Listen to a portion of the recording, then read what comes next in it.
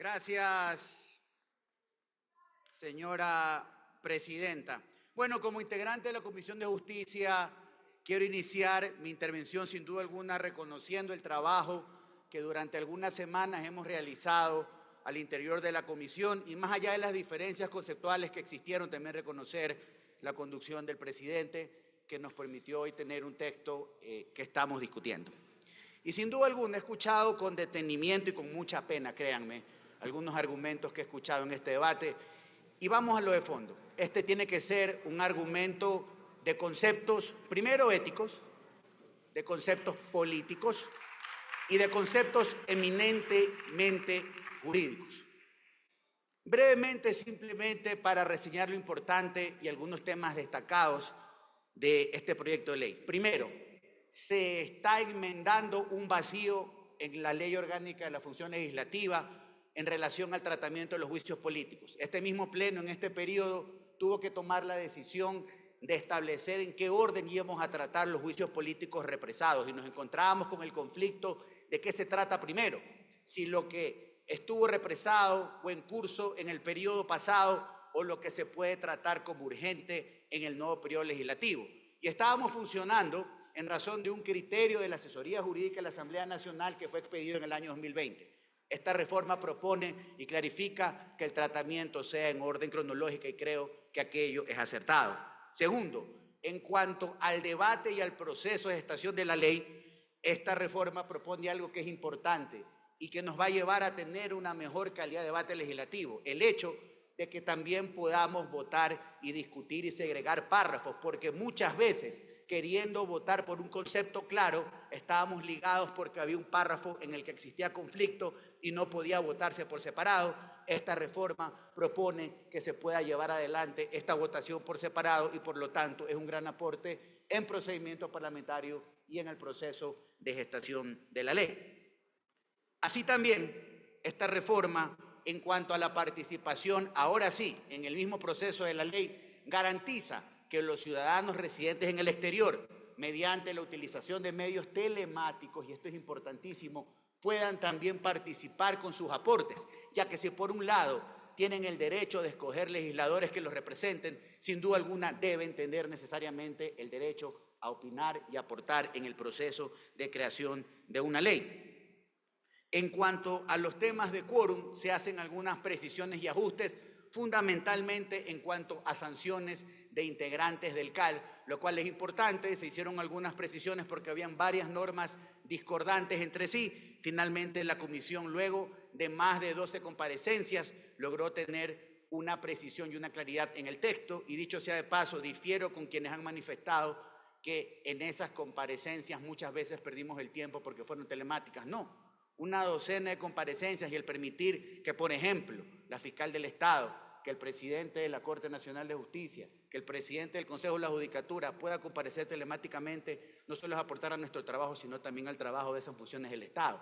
Porque obviamente pueden cumplir con el compromiso de aportar en la ley, presentar sus observaciones y pueden seguir con el curso de sus funciones. Y vamos ahora finalmente al tema que ha generado mucho debate y controversia, el famoso transfugismo político. Y aquí decía yo que este es un debate ético, que este tiene que ser un debate de conceptos políticos y este además tiene que ser un debate estrictamente jurídico. A ver, vamos al tema de fondo. La constitución de la República garantiza el derecho a elegir y a ser elegido y por lo tanto está garantizada la participación política. Pero tenemos que ir pues, a las leyes de la materia y nuestro sistema de participación política establece conceptos con el que yo nunca estuve de acuerdo. Este mismo Parlamento en el 2000 19 tomó la decisión de lo que sí para mí fue un retroceso de volver a las listas cerradas. Es decir, que en una lista pluripersonal el país está obligado a votar en plancha y no escoger entre los electores. Y este es un concepto importantísimo, primer concepto que debe quedar claramente establecido, sin duda alguna.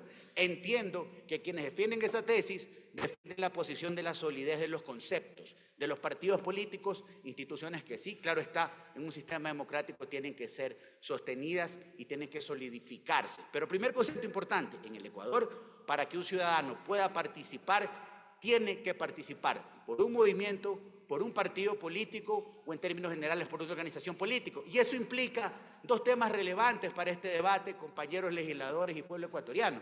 Es que usted, aunque sea independiente y no se afilie a la organización política por la cual va a participar, usted tiene que primero someterse a la lista, porque no van a votar por usted, van a votar por la lista. Primer concepto. Segundo concepto, usted tiene que necesariamente firmar un papelito con que no le guste y algunos aquí se han olvidado, porque antes al menos en nuestra bancada firmaron por no impuestos y aquí vinieron a votar por los impuestos y eso gratis seguramente no fue. Pero bueno, vamos más adelante. El segundo concepto es que usted firma pues un plan de trabajo. Y usted se adhiere a ideas y por lo tanto, cuando inicia el periodo legislativo, todos nosotros firmamos, más allá de los independientes, la constitución y el adherirnos a una bancada legislativa y también nos adherimos pues, a un plan de trabajo. Por lo tanto, es fundamental entender estos tres conceptos porque no me los estoy inventando, porque están en la ley. Y por allí veo que se ha distorsionado probablemente la falta de desconocimiento. No se trata de la discusión simple y laxa de ser alzamano o no. Se trata de entender que cuando usted firma un, par de un plan de trabajo y usted es parte de una organización política, debe someterse por ética y por derecho a los principios de una organización política. Y aquí viene en lo que difiero con la propuesta que la comisión hoy nos trae. Y ojo, y esto fue un debate acalorado, es que si esto debía venir al Pleno como una causal de pérdida de la condición de legislador. Yo intervine y yo aquí difiero con la posición del informe. Y yo voté a favor, pero voté a favor porque sabiamente, y el presidente así lo propuso, la comisión quería que seamos nosotros, pues en este debate, que discutamos con respeto, no como se ha discutido hoy, con gritos, con inexactitudes, con pocos argumentos, tratando de defender lo indefendible, más o menos como cuando la serpiente se viste de oveja. Pero en todo caso, aquí el tema de fondo es que, sí, sí, aquí, aquí el tema de fondo, el tema de fondo es que no puede ser, compañeros legisladores, por más presentable y justo que parezca, que la desafiliación del partido político o la separación o expulsión de la bancada nos lleve a perder la condición de legisladores. ¿Y por qué? Primero, porque hay opiniones consultivas de la Corte Interamericana de Derechos Humanos, porque hay sentencias de la Corte Interamericana de Derechos Humanos. Porque me voy a poner de ejemplo. Yo, aún siendo coordinador de esta bancada, he votado diferente a mi bancada y se lo he dicho. Esta intervención la hago a título personal y he diferido. ¿Sí? Lo he explicado y no resulta expulsado. Pero aquí no se ha entendido, se ha pretendido malentender el concepto diciendo los alzamanos. No, señores, ninguno de nosotros ha perdido el derecho por objeción de conciencia o simplemente por pensar distinto, votar distinto a nuestras bancadas. Ese derecho no lo podemos perder porque atropellar eso sí sería inconstitucional.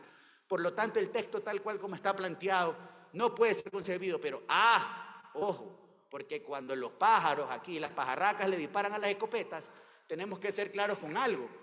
Otra cosa totalmente distinta es que usted llega y se separa, pues, y luego es cachiporrero o cachiporrera de otra bancada legislativa. Pues. Y ya expliqué que usted participó por un partido, ya expliqué que usted firmó un par de trabajo. Usted puede declararse independiente, usted puede alejarse de la bancada y puede seguir siendo independiente. Pero yo sí considero, compañeros legisladores, que debe existir una sanción para esa causal, no para el que se desafilió, ni siquiera para el que fue expulsado, para el que abiertamente en este periodo legislativo, lo pongo de ejemplo, porque hay dos casos en mi bancada, y yo soy frontal y claro, dos casos en mi bancada. Usted hoy llega con nosotros, hoy gana con nosotros, hoy gana con nosotros, participa por nosotros, porque no ganaba ni la elección del condominio, pero resulta que son libres pensadores. Y el que en el mismo periodo legislativo cambia abiertamente de bancada, sí tiene que tener una sanción. No considero que debe ser la pérdida del cargo, pero sí una falta grave de por lo menos tener una sanción entre 30 y 90 días y así lo presenté y así lo fundamenté en el informe ante la Comisión de Justicia. Entonces, compañeros legisladores, creo que estos argumentos con mucha vehemencia, sí, pero con respeto, son absolutamente claros. No nos podemos confundir que el grito, que aquí los que quieren lavarse la cara y justificar lo justificado es otra cosa. Y finalmente voy a terminar esto recordando mis clases de Derecho Político. García Moreno, cuando se daban en el Parlamento los camisetazos, sentenció algo que es claro y es verdad histórica. Compañeras y compañeros, la traición, lo decía García Moreno, tiene precio, se paga, pero no se premia y lo condena. ¿Y quién lo condena? El pueblo. Gracias, compañeras y compañeros.